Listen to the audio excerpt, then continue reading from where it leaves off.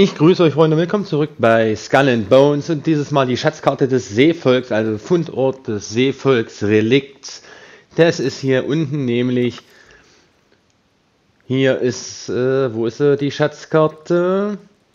Hier unten des Seevolks, Hinweis auf das Relikt des Seevolks. Wir haben hier mehrere Schatzkarten, aber das Relikt des Seevolks befindet sich natürlich hier unten. Also wir sind jetzt äh, hier gerade angekommen. Wir müssen dann hier nach links und hier ist der Schatz des Seevolks. Versteckt, dass ihr nicht Ewigkeiten suchen müsst.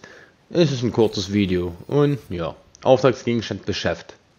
Relikt des Seevolks. Besucht mich auch auf Instagram und Twitch. Die Links findet ihr in der Beschreibung.